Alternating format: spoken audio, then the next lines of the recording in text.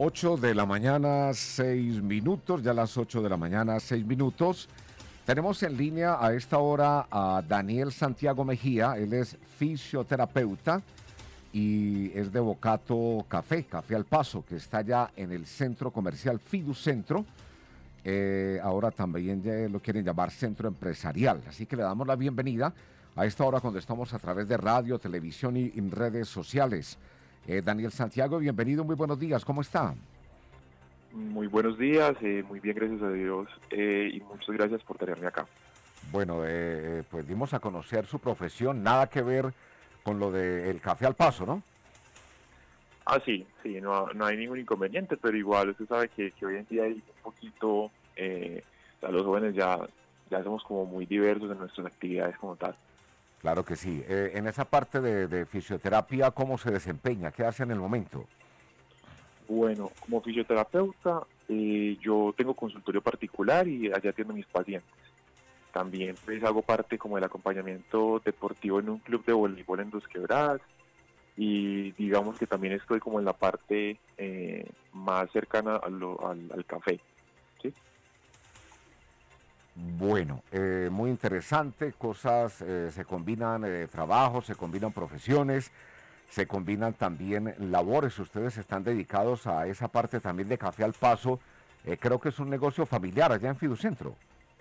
Sí, señor. Nosotros, esa empresa de Bocato Café está hace aproximadamente desde el 2013, fue que nosotros la adquirimos y desde ahí pues estamos como a cargo de, de toda esa labor año 2013. ¿Cómo, ¿Cómo fue la idea de iniciar con ese café al paso? Bueno, inicialmente pues nosotros no teníamos ni idea de, de, que era un café, de, cómo era administrarlo siquiera. Entonces mi papá, que fue como el encargado de hacer la conexión, eh, se acercó, preguntó si de pronto lo vendían. Era, me acuerdo que ese café era un señor Albeiro, era el nombre del señor, el propietario, y él dijo que sí, que lo vendía y, ahí fue que empezó como toda la historia con todo eh, el café en, nuestros negocios. Se empezaron ustedes entonces a unir todos en familia a atender ese café al paso que me imagino pues les ha dado muy buen resultado hasta el día de hoy. Sí, señor. Inicialmente eh, los tres nos metimos a aprender mucho. Como le decía, no teníamos ni idea de cómo hacer un café, de que había diferentes tipos de café y es algo muy llamativo porque en nuestra región cafetera, que pues es tan productora de café, no tengamos la cultura de tomar tanto café. Eso ha ido cambiando últimamente y nosotros como propietarios pues de, de, Bocato Café eh, nos hemos ido como haciendo más tinteros, por así decirlo. Eh, el nombre, ¿de dónde salió? ¿Ya lo traía cuando compraron ustedes eh, Bocato o de dónde salió el nombre? Sí, inicialmente ya, ya estaba con ese nombre. Sí, nosotros no pensamos como quitarle el nombre porque pues al fin y al cabo nos, nos también nos, nos, parecía muy llamativo y era un nombre muy fácil de aprender. Sí, o sea, es un nombre muy particular y pues usted sabe que a nivel de, de empresa y todo eso uno necesita un nombre que la gente se quede eh, pensando y que le quede la cabeza para, para mayor facilidad de las personas. Sí, es crear marca definitivamente, ¿no? Es eh, que se quede en la, en la mente, en la imaginación de las personas, eh, y eso es importante dentro de un negocio. Bocato, eh, café, y es café al paso. ¿Qué venden allí combinado con el café y de qué manera preparan el café? Bueno, pues nosotros inicialmente, dadas las zonas en las que estamos, tenemos todos productos relacionados con el café café frío, café o bebidas calientes. Sí, digamos que lo más llamativo es el capuchino, los mocachinos, eh, latte, o sea, todos los productos que sean derivados del café y también eh, pues todos los productos como para acompañarlos. Hay un, un, matrimonio muy importante ahí que es el brownie con café que en serio los invito a probarlo porque es muy, muy rico. ¿Son baristas? Sí, señor. Sí, señor. Digamos que todavía no estamos adentrados mucho en el tema de, la elaboración ahí en frente del cliente, pero como lo decía antes, más que más que solo quedarnos con un café del paso, queremos como imponernos como marca. Y es algo que tenemos eh, planeado para este año, empezar a hacer ese tipo de, demostraciones para que la gente vaya conociendo un poquito más sobre el café. Eh, me imagino la combinación con una buena torta, con un buen pan. Eh, ¿Qué ofrecen más allá, además del café, de esas variedades? Bueno, ahí se ofrece también dedos de queso, eh, pastel de pollo, pastel de carne, empanadas, pues lo, normal de nuestra, comida típica. Y también tortas que, que han gustado mucho. La torta de, de, mojábana, que es muy, muy, muy rica. Y otros tipos de tortas, pues ya tortas de zanahoria y tortas de, de naranja. Esas son como, como las principales. Ya nos está haciendo dar apetito usted que en la mañana, hombre, mencionando todas esas tortas bien ricas, bien deliciosas. Sí, eh, señor, eso es cierto. Eh, bueno, lo hemos querido invitar también a esta hora, eh, recomendado también por la administración de Fiducentro, porque ustedes uno de ustedes tienen allá uno de los negocios importantes dentro de este centro comercial que está en el corazón de la ciudad de Pereira. Eh, ¿Cómo ve usted a Fiducentro en este momento? Bueno, en Fiducentro a veces es un poquito complejo todo el tema de la movilidad dentro del centro comercial. Yo siempre se le pregunto a las personas, ese es como el principal problema que tiene el centro comercial. Eso se ha ido poco a poco eh, aprendiendo y eh, Fiducentro se ha convertido en un centro de negocios, como, como está propuesto para que se llame y allí hay demasiadas personas que están, digamos, llegando a ese centro comercial. ¿Sí? Antes era un centro comercial que estaba muy, muy en abandono, por así decirlo, que era difícil que la gente llegara, pero ahora con, con esta nueva propuesta que se está generando y pues obviamente con todas las personas que están llegando a poner su negocio allí en el centro empresarial, pues entonces eso ha ido como mejorando y ha ido cambiando de forma. Cuando usted habla de una nueva propuesta, amplíenos más sobre esa nueva propuesta de Fiducentro. Bueno, inicialmente la idea es convertir a, a Fiducentro como un centro empresarial, ¿sí? en el cual no sea tal como el centro comercial Victoria, que es más que todo una zona comercial donde usted va y compra, donde usted va y adquiere sus productos, sino más como ese centro operativo, ese centro logístico de varias empresas. Incluso actualmente en Fiducentro hay muchas empresas, por ejemplo, de aire acondicionado, de call center, en fin, o sea, áreas o, empresas que no requieren tanto esa entrada del público al centro comercial, sino ya más como de la parte operativa que se va generando de ellas. Sí, esa es como la propuesta inicial que se tiene. Obviamente, pues hay negocios que se requieren el ingreso de los de los de las personas, pero es como el, la, la, mira de, del centro comercial. Bueno, está con nosotros el director, el doctor Germán Aguirre Muñoz, también en esta entrevista a esta hora de la mañana. Eh, Daniel, con los muy buenos días, también le quería preguntar, la clientela de Bocato Café está muy concentrada ahí porque es una población de bastantes locales dentro del centro comercial Fiducentro. Entiendo también hay una clientela ahí en todo lo que significa la gobernación de Risaralda con su tren de funcionarios, con los visitantes a la gobernación y también viene la gente del entorno. Esa es fundamentalmente la clientela de Bocato Café. Sí, señor.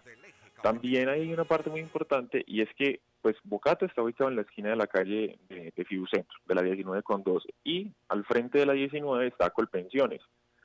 Entonces digamos que esa es también una gran parte del público que no conoce a Bocato, porque pues ya las personas de Fiducentro, las de la gobernación, como usted lo decía, Germán, eh, ya conocen Bocato, sino que esa gente que, ve, mira, yo estoy aquí esperando, mientras que muy me espero, hoy me siento allá, me tomo mi tinto, voy un juego mientras tanto. Entonces digamos que esa también es una parte importante de, las personas que llegan ahí a nuestro, a nuestro café.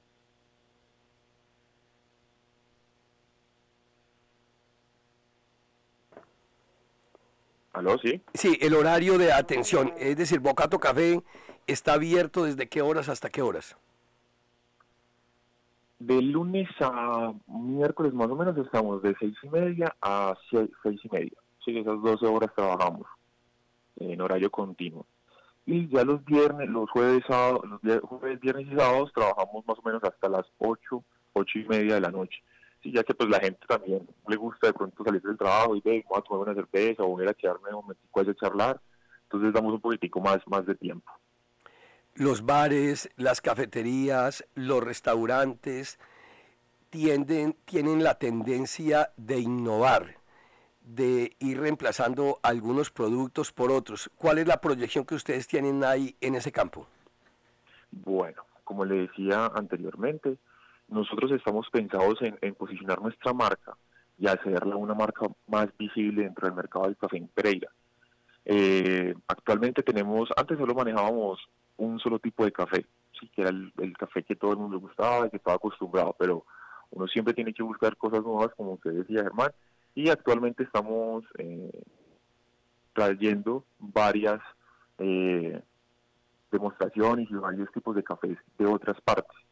Eh, por ejemplo, de Risaralda tenemos un par, sí, hay muchos cafés de nosotros que vienen también del valle, que son cercanos y queremos ampliar más nuestra nuestra gama de cafés para que la gente empiece a entender un poquito sobre ah, bueno, la diferencia del café de Risaralda, del café del valle, del café de Manizales, ¿sí?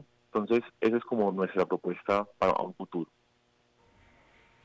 Eh, ustedes venden ahí también de pronto el, paquete de café, de esto que nos está mencionando. Sí, señor, claro, claro que sí.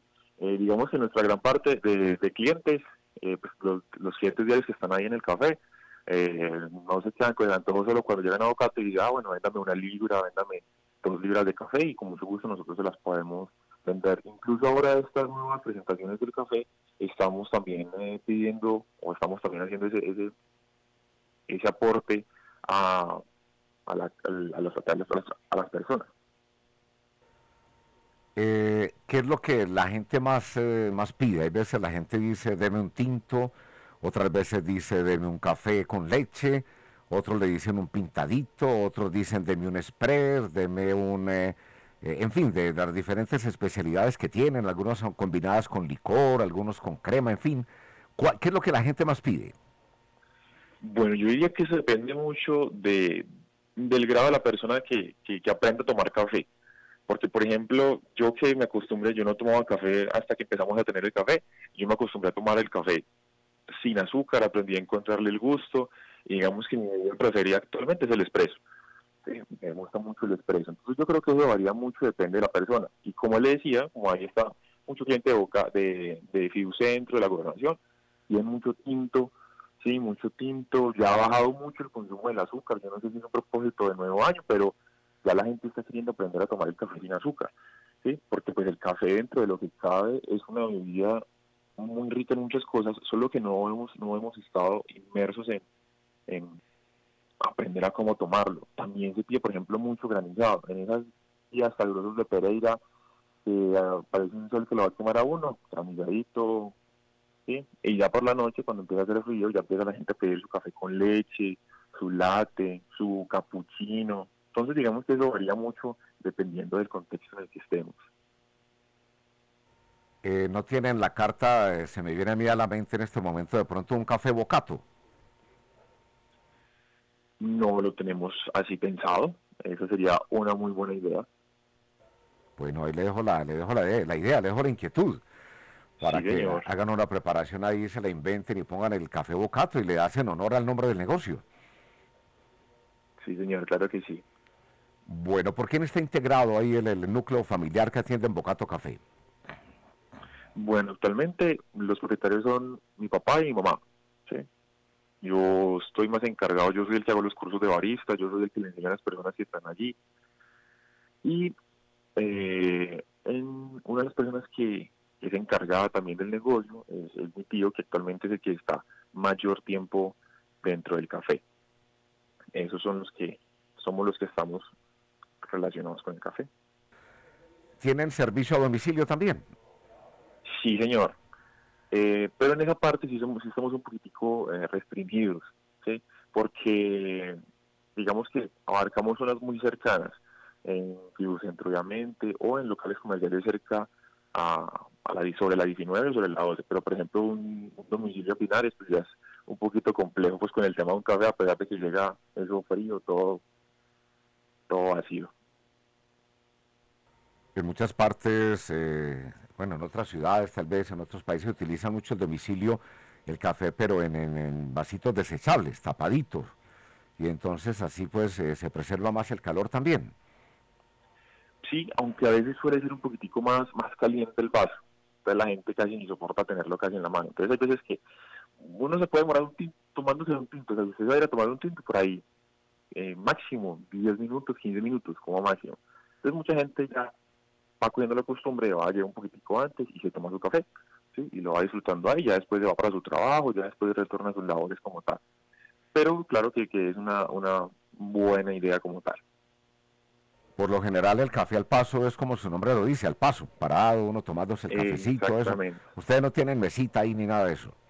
Sí, sí, claro que sí. Nosotros tenemos una parte en la que estamos, digamos, techados, como para todas las personas que se quieren quedar ahí realmente con los aguaceros de Pereira, pues para protegerlos de ahí. Hay una partecita que está aislada, sí, más o menos 5 o 6 metros, que son un par de mesas para las personas fumadoras. Sí, las personas que también en, en, el ambiente cafetero, los abuelos a veces llegaban y prendían sus cigarrillos y se tomaban su tinto, y ese era el casado de ellos.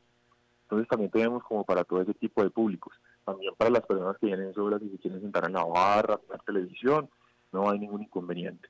Entonces digamos que, que, queremos darles todos los beneficios a las personas que llegan. Bueno, Daniel, para terminar entonces, ubiquemos nuevamente a nuestros oyentes y televidentes.